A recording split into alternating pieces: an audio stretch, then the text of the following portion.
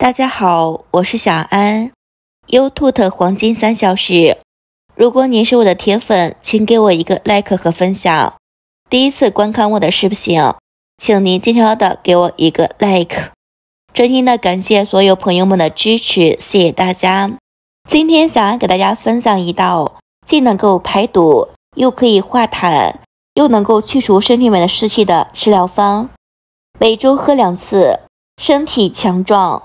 清肺毒、清肝毒，排出身体里面的毒素垃圾，对身体是比较友好、比较有益的，特别的适合中老年朋友们经常使用的。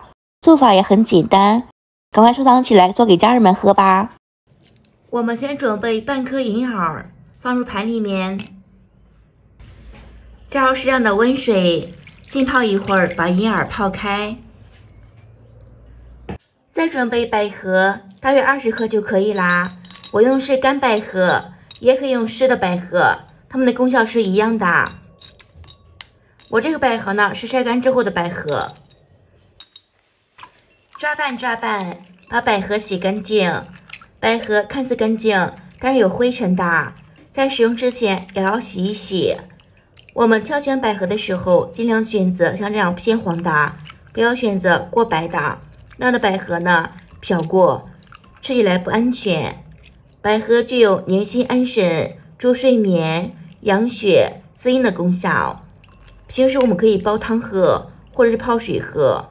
每天吃一些百合，具有很好的滋补作用的，营养健康又美味，是一种保健食品，还是很不错的。百合的口感煮过之后特别的香甜软糯，很好吃，是一种既营养又美味的食物。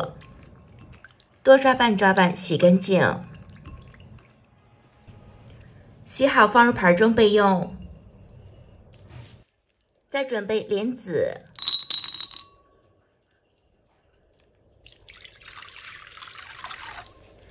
抓拌抓拌，把莲子清洗干净。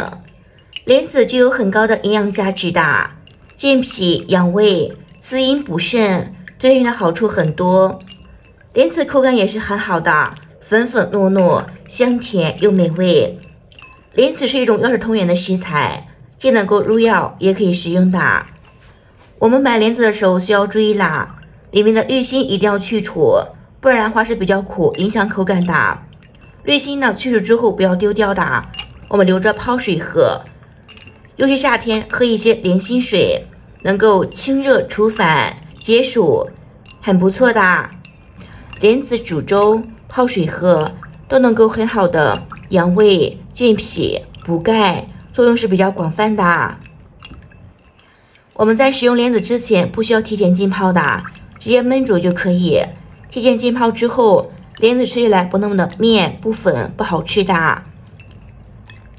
准备几颗红枣，加适量的清水，用手抓拌抓拌，把红枣洗干净。红枣沟壑里面有很多的灰尘杂质，不好清洗的。我们可以加入一勺面粉搓一搓，面粉具有很好的吸附作用，可以把红枣沟壑里面的灰尘全部吸附出来的。像这样洗过之后的红枣，吃着比较放心。红枣是一种养生食材，具有很好的滋补作用的，药食同源的食材。在古代，很早就把红枣放到养肝汤里面食用了。红枣既能够养肝。又可以滋阴润肺，保健功效是比较强的。我们每天都要吃上几颗红枣，补气补血、美容驻颜。特别是女性朋友们，每天喝一些红枣茶水，可以补足气血、滋润皮肤的，使我们的气血充足，皮肤越来越好看，整个人特别的有气质又年轻的。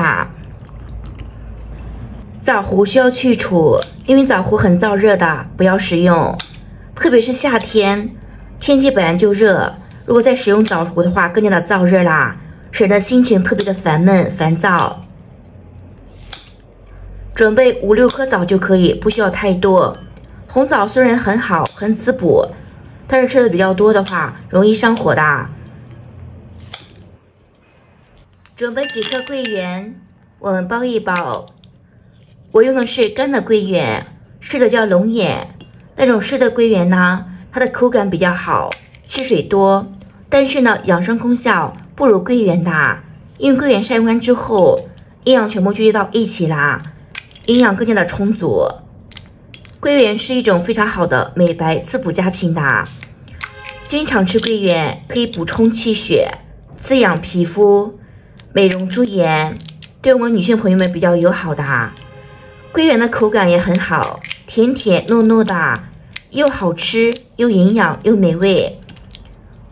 桂圆里面含有特别丰富的钙质、维生素、蛋白质，营养充分，所以平时要多吃一些桂圆。对我们身体好有好处的。虽然桂圆有外皮包裹着，但是包好之后再洗一洗的，可以去除一些杂质、细菌，这样使用起来比较放心的。入口的东西一定不要掉以轻心。不一会儿的功夫，银耳泡发好啦。我们先把银耳这个根蒂去除，这个根蒂呢一定不要食用的，是有毒的，去除的多一些。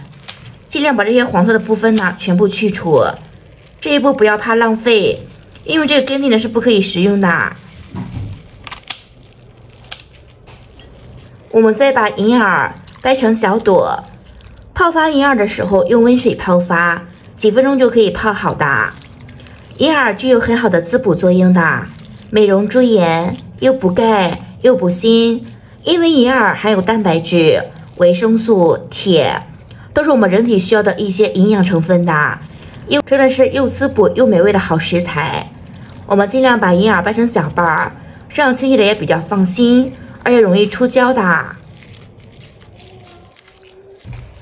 来一勺面粉，抓拌抓拌。银耳沟壑灰尘比较多，也不好清洗，加入一勺面粉洗。面粉具有很好的吸附作用的，可以把银耳沟壑的灰尘全部吸附出来。这样洗的营养是比较干净的，多抓拌抓拌，抓拌两三分钟，多换两遍清水，洗至水变清，没有任何的杂质灰尘就可以啦。我们控水把银耳捞出来，我们准备一根山药，刮去外皮。对山药过敏的朋友们，戴上手套操作，不然的话是比较痒的。山药具有很好的。健脾、滋养肝肾，主要的功效能够很好的养脾胃的。平时消化不良的，吃饭没有食欲的，脾胃不好的，这个季节一定要多吃山药。无论是老年朋友们、小孩子，吃山药对我们脾胃非常的不错的。我们准备一个养生壶，把准备好的食材倒入养生壶里面，也可以用锅煮的。加入清水，多来一些，再加入几颗黄冰糖，直接焖煮就可以啦，大约一个小时。亲爱的家人朋友们，制作视频不容易，请您快来小手帮我点个赞，支持一下吧。您的每一个支持和点赞都是我全力的最大动力，感谢所有朋友们的支持，谢谢大家。时间到了，已经焖煮好啦。银耳变得非常的黄，这个时候呢，银耳煮出了胶质，就可以关火出锅。哇，真的是太好啦！银耳煮出了胶质，汤呢特别的黏糯，很好喝，微微的甜，因为加入了冰糖嘛。这样做好的银耳汤真的是既美味又养生的，经常喝一喝，养生保健的功效特别的强大。加入了山药、莲子、百合。